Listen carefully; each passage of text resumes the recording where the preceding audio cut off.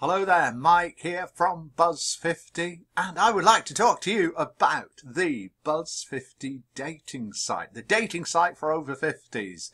It's free to join, search and match. Now that's really, really important because it is a subscription site but you can do loads without even subscribing. So you can find the partner of your dreams before committing yourself.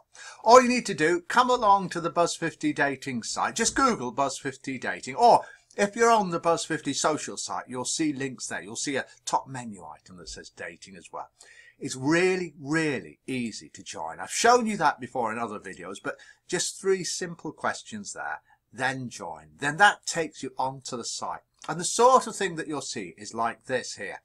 One of the great features here, uh, would you like to meet one of these people?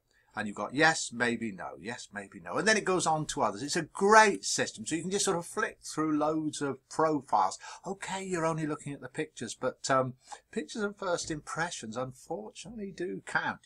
If you want to take things a little bit further, and don't forget, all of this that I'm doing is free then if you click search there, search members, then it takes you onto this page. Now this is a fantastic search system. I haven't seen a site anything like as good as this. You can put your age range in there of the person that you're searching for. So if you're looking for someone younger than yourself or older for yourself, for yourself, older for yourself than yourself, then you're welcome to try that. Put in the area and then the radius. So if I happen to live in Thirsk, which I don't, then I would have 2,475 members to choose from. And then you can filter. Now this is the fantastic thing because you can choose which filters to use.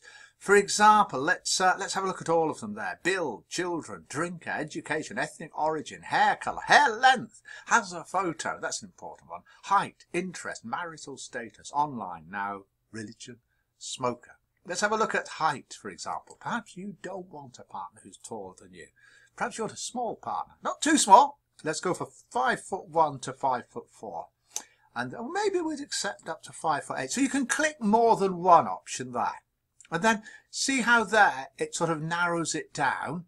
And then you get all the people down here within 25 miles who are um, between five foot one and five foot eight, I suppose, which I suppose does cover most women and then you can search on that then you can click on their profiles. Let's click on a profile here.